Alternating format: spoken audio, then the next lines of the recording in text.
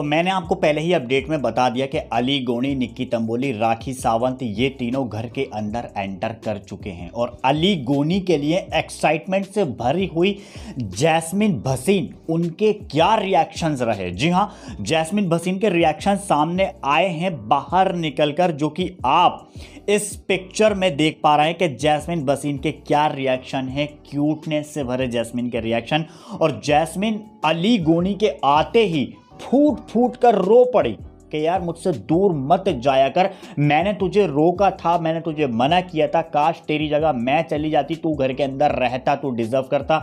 मगर अब सब कुछ माइंड ब्लोइंग होगा, अब सब कुछ अच्छा होता हुआ नज़र आएगा। मैं तेरे बिना बहुत ज़्यादा अकेली पड़ गई थी तो इतनी सारी बातें जो 24 घंटे लाइव फ़ीड के अंदर दिखाया जा रहा है टेलीकास्ट किया जा रहा है। ये सारी बातें जैस्मिन बसीन अली गोनी से करती हुई नज़र आई और स्पेशल एक सैड सा लम्हा सैड सा मंजर हमें स्पेशली देखने को मिलेगा कल के एपिसोड में। जब आप देखेंगे अली गोनी के एंटर करते ही जैस्मिन बसीन के रिएक्शंस क्या ज़बरदस्त वाले सारे इमोशंस बाहर निकल कर आ जाएँगे।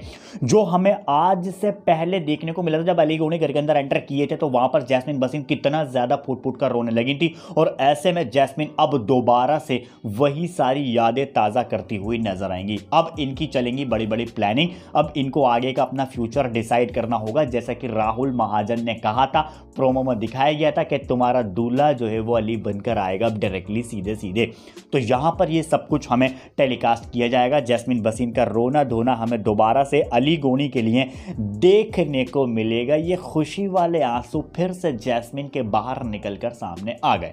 बहरहाल, इंतज़ार करिए, आने वाली अपडेट्स का अपडेट सामने आते रहेंगे। मेरा काम है आपसे शेयर करना सब्सक्राइब दिखाओ, जिन्होंने अगर इस चैनल को अभी तक नहीं किया है, ताकि आने वाली अपडेट्स आपसे मिस ना हो सके।